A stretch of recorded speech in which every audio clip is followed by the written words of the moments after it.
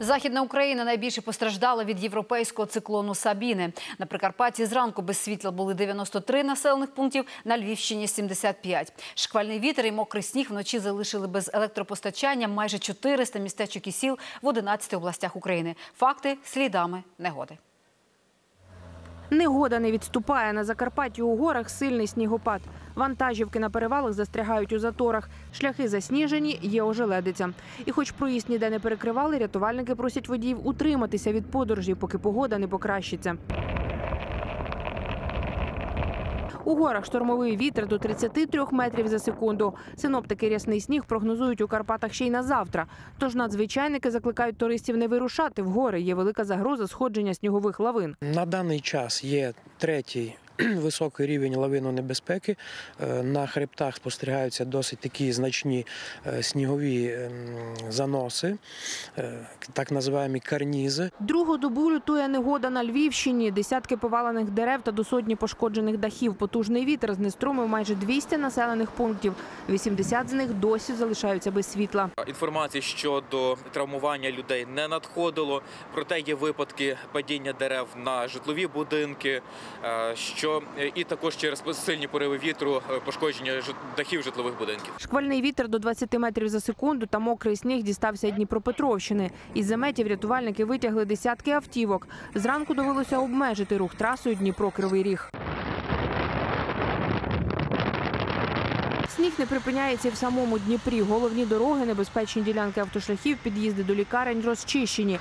За ніч комунальники висипали на дороги міста майже 900 тонн протиожеледної суміші. Видно, что убирают, ну, пока слякоть, видать, может, больше машин нужно. Вот. Ну, плюс, конечно, паркуются на обочинах, тоже ж мешают. Тротуары там мрак.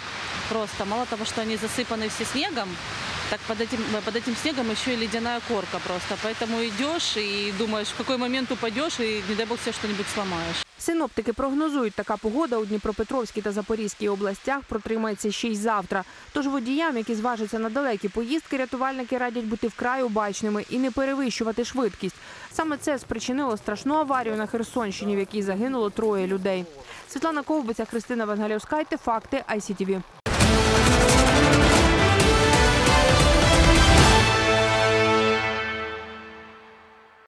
Через ураган в Європі загинули восьмеро людей. Буревій найбільше вирував у Польщі, Швеції, Великій Британії, Словенії, Німеччині та Чехії. Вітер часом швидкістю понад 200 кілометрів на годину дійшов до острова Корсики. Він посилив лісову пожежу, що зайнялася там напередодні. Знеструмлено дві тисячі помешкань на острові. Закрили два порти, скасували авіарейси. А в Німеччині та Австрії досі паралізована залізниця. Буревій повалив на колії багато дерев.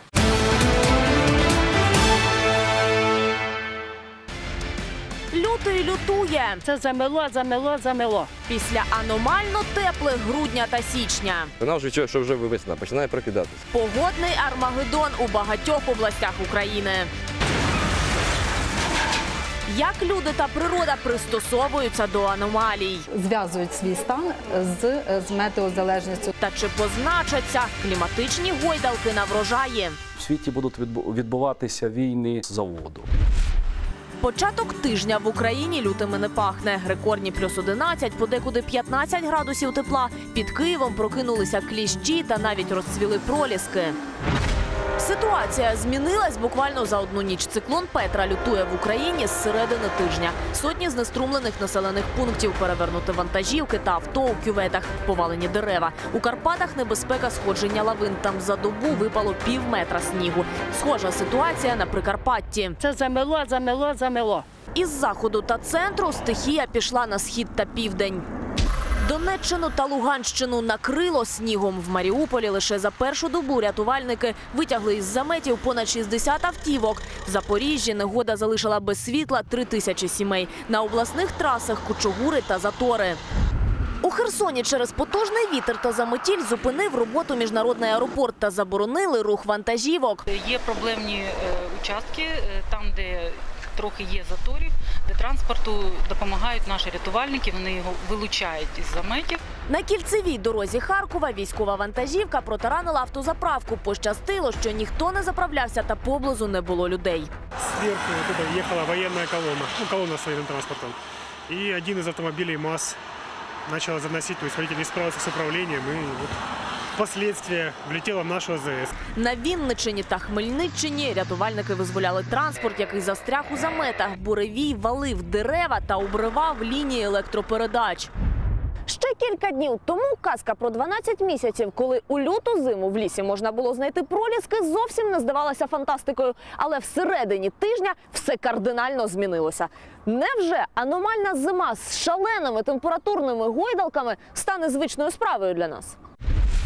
Кліматичних змін не уникнути, запевняє народний синоптик Леонід Горбань. Він розраховує прогноз погоди понад 60 років і дуже рідко помиляється. Але каже, ця зима для нього виявилась геть непередбачуваною. Над Северным полюсом был сформирован э, со- вихрь полярный, температура которого на высоте 25 километров была зафиксирована минус 94. Отже, виходячи з цих даних, він прорахував холодний та сніговий січень.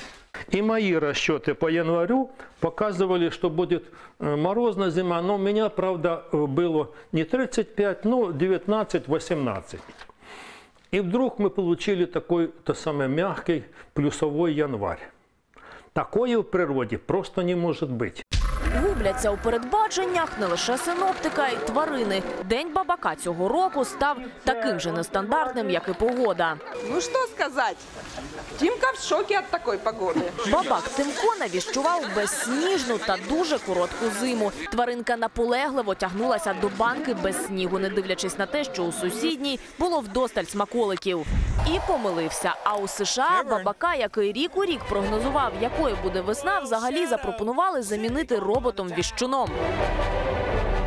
Аномалії впливають і на дику природу. У заповіднику Асканія Нова бізони вперше після завезення в Україну змінили час народження потомства. Раніше вони це робили у травні, а цьогоріч дев'ятеро бізонят побачили світ у грудні, який не надто відрізнявся від весняних місяців. Не відлетіли у теплі края і сотня сірих журавлів. А у місцевому дендропарку розцвіли підсніжники та калина.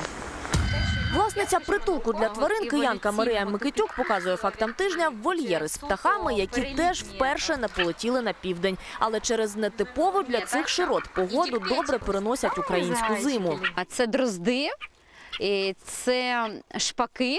Але в цьому році ми е, навіть не забирали їх е, додому. І вони всю зиму зимували на вулиці через те, що було доволі тепло. Хоча це ендемічно теплі птахи. Попрокидалися цієї зими летючі миші та їжаки. Марії їх з лісу принесли люди. Замечательный ежик. Кушать хочешь? Да, проснулся непонятно где. Зараз із настанням морозів вони знову впадають у сплячку. Це, звичайно, є трошки незвичайним як для біологів та екологів таким станом, який ще треба дослідити і зрозуміти, наскільки він е, буде шкодити біотопам і екосистемі в цілому. Такими темпами в Україні за 10-20 років клімат буде як у Греції. кажуть синоптики, вода висихатиме, річки мілішатимуть, ґрунти спустелюватимуться. У світі теж відбуваються незворотні зміни. В Антарктиді цього тижня зареєстровано рекордну температуру плюс 18. Сполучені Штати накрили потужні зимові шторми. Скасовано 600 авіарейсів. Британії вже другий день вирує руйнівний шторм Кіара. В Австралії на зміну безпрецедентним пожежам прийшов тропічний циклон Дем'ян, який затоплює міста і блискавками спалює дерева та домівки. На такі різкі перепади погоди реагує все живе. Люди не виняток. Це диспетчерська станція швидкої допомоги. Тут робота не припиняється за жодних погодних умов. Та в період межсезоння телефонні дроти лікарів-консультантів обриваються. Відсотків 30 е, е, зв'язують свій стан з, з метеозалежністю, з, з, з магнітними бурями і так далі. Відповідні дні, там відповідні години навіть є. Ганна метеозалежна до швидкої не звертається. Погано себе почувати від різкої зміни погоди почала два роки тому. болит голова, тошнит, слабость. Вот эта зима мне дается вот максимально сложно. Например, э, во вторник, когда утром светило солнце, днем шел дождь, вечером шел снег, это вот, э, ну, вот если честно, это фильм ужасов для метеозависимых людей. Але у синоптиків немає заспокійливого для метеозалежних людей. Гойдалки триватимуть, і вже найближчим часом мінус зміниться різко на плюс. Власне кажучи, вже з понеділка температура повітря е, зросте і надалі буде також підвищуватись.